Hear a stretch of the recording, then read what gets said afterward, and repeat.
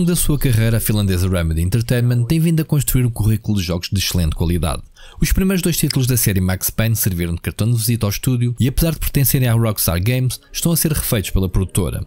A Remedy é conhecida por cruzar histórias com forte teor narrativo com elementos sobrenaturais, mas acima de tudo procura introduzir elementos frescos nas mecânicas de ação e tecnologia avançada. Max Payne trouxe para os videojogos as sequências de bullet time, numa altura em que Matrix o fazia no cinema. Alan Wake procurou explorar o género thriller psicológico, tendo como elementos principais a luz e a escuridão. Quantum Break, talvez o menos bem sucedido, mas ainda assim muito bom, procurou oferecer mecânicas de manipulação do tempo. E Control, provavelmente o mais aclamado depois de Max Payne, aposta no paranormal, recorrendo a mecânicas de manipulação telecinética. A Remedy é daqueles casos da indústria de um estúdio que se tem mantido independente, passando ao lado de vagas de aquisições, sobretudo do apetite da Microsoft. Mas ao mesmo tempo, nos últimos dois anos, tem vindo a desmultiplicar-se em diferentes projetos para editoras distintas, correndo o risco de perder o foco. Lançou em 2021 a versão remastered de Alan Wake, antecipando Alan Wake 2 com a ajuda da Epic Games. Criou a banal campanha narrativa para Crossfire X para a Smilegate, está a produzir o remake de Max Payne 1 e 2 para a Rockstar e ainda tem projetos não revelados oficialmente, como o Condor para a 505 Games e Castrel para a Tencent. O certo é que Alan Wake 2 vem novamente confirmar a mestria do estúdio em contar histórias, mas também oferecer uma experiência envolvente aos fãs dos seus jogos. O primeiro Alan Wake explorou o género de horror psicológico, jogando constantemente com os nervos do jogador. A sequela direta pega nesse conceito e transforma-o numa verdadeira experiência de survival horror. Estamos a falar de um jogo da veia do melhor do género. E posso adiantar que é difícil um título deste me fazer dar saltos na cadeira e Alan Wake 2 consegue constantemente, entrando para o meu top 3 de jogos mais assustadores de sempre, entre The Evil Within, de Sanji Mikami, e The Suffering, um velhinho título da Surreal Software. Em outro registro, Dead Space e Alien Isolation. Alan Wake 2 é um coquetel com todos os elementos de horror que fazem deste um dos melhores do género. O build-up constante criado pelo jogo psicológico daquilo que está a acontecer, do ambiente macabro, escuro ou mesmo sujo de muitos dos cenários explorados, prepara um jogador para um estado de alerta constante de que algo vai cair em cima. E é incrível para um jogo que não precisa de monstruosidades para assustar. Os Taken, que são os humanos tomados pela escuridão, e as próprias sombras negras fazem todo esse trabalho. E acreditem que são inimigos verdadeiramente assustadores por serem bastante próximos da fisionomia humana. E quando o jogo quer que os jogadores saltem na cadeira, falo sem problemas, sendo inevitável dar berros aos designers do jogo. Bom, e a mim também. Desculpa, não resisti. Remedy tem outro fator que joga a seu favor. A experiência e a capacidade técnica de criar um mundo credível e muito bonito, como o conhecido ambiente de Bright Falls, uma vila pacata que esconde os terríveis trevas, que parece sair diretamente de um conto Stephen King. O motor Northlight do estúdio continua a ser decisivo na capacidade de desenvolver. O estúdio consegue dessa forma dar-nos contrastes impressionantes dos cenários, jogando mais uma vez e de forma excepcional com a luz e a escuridão. E mesmo os cenários mais assustadores são belíssimos em termos de design, e mesmo no breu da escuridão, seja no meio de uma floresta, numa metrópole citadina, a atenção ao detalhe mantém-se.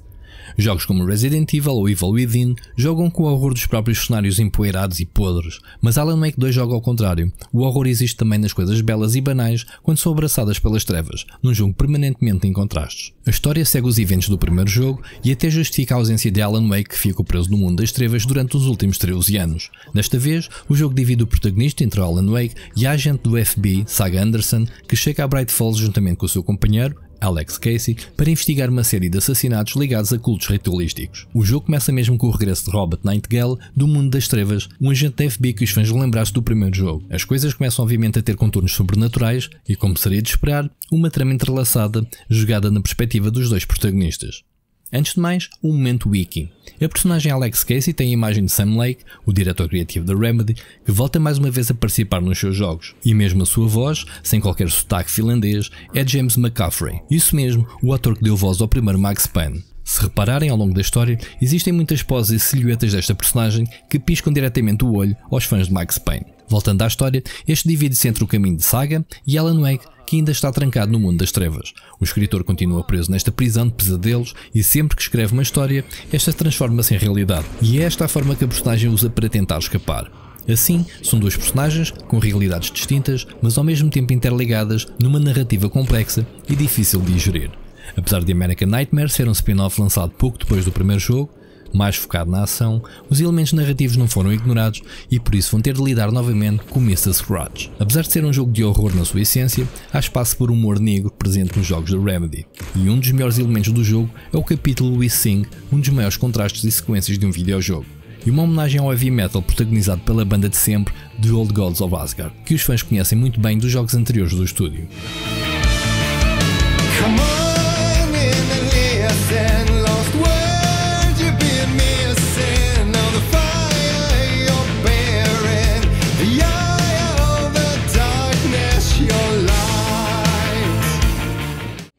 O gameplay entre as duas personagens é um pouco diferente, embora se mantenha o um elemento comum entre apontar a arma de luz para tornar os inimigos vulneráveis às armas de fogo. E ainda que a ação faça parte de muitas sequências, cada bala tem de contar, pois as munições são escassas. Muitas vezes, evitar os inimigos e fugir é a melhor solução, mas a forma como o jogo despeja inimigos em cima das personagens, a maioria do nada, torna a experiência ainda mais aterradora. Cada personagem tem uma área própria que pode ser acedida a qualquer momento, no caso de Saga, esta tem capacidade supernatural de entrar naquilo que chama de Mind Place, através de telepatia. Neste lugar, que parece um escritório, permite completar casos com provas encontradas ou traçar perfis das vítimas e suspeitos, abrindo caminho à história e aos objetivos. Aqui pode aceder a documentos recolhidos, aos manuscritos de Alan Wake, assim como outros colecionáveis.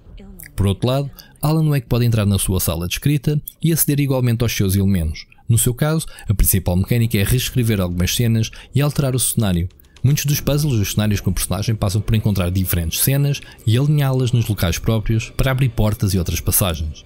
Também pode manipular a luz, recolhendo lâmpadas para usar em locais mais escuros e mais uma vez alterar essas passagens. Um dos melhores aspectos da aventura é a capacidade do Remedy em oferecer uma experiência cinematográfica credível, misturando sequências em live action com os mesmos atores que dão a aparência às personagens 3D.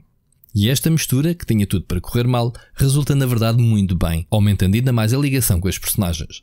Há anúncios de televisão cheios de humor e, tal como o primeiro jogo, a constante transição para o que se está a passar dentro do aparelho.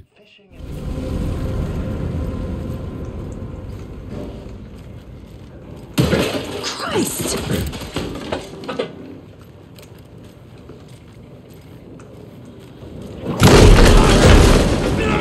Alan Wake 2 prova que o género survival horror pode ter novas ideias e pode ter elementos de comic relief para deixar os jogadores respirar um pouco, assim como sustos fáceis, assim do nada. Mas a constante build-up psicológica, a capacidade de jogar com as sombras e iluminação, a atenção ao detalhe, tornam esta proposta um verdadeiro jogo de terror de nova geração. Mesmo que a história seja de difícil gestão, esta viagem à mente perversa de Alan Wake, repleta de referências à mitologia nórdica e finlandesa, torna-no obrigatório, um dos melhores do ano e de sempre dentro do género.